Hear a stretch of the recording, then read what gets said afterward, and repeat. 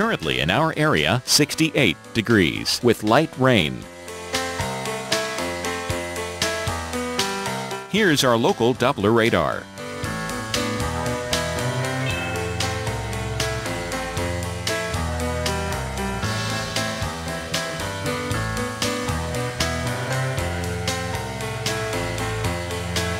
For tonight, thunderstorms likely, low 65, chance of rain 80%.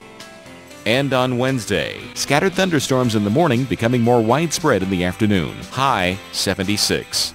And Wednesday night, showers and scattered thunderstorms, low 65.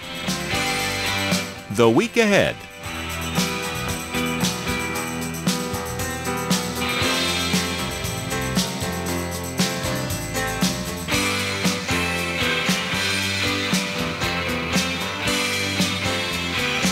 Hey, Rory.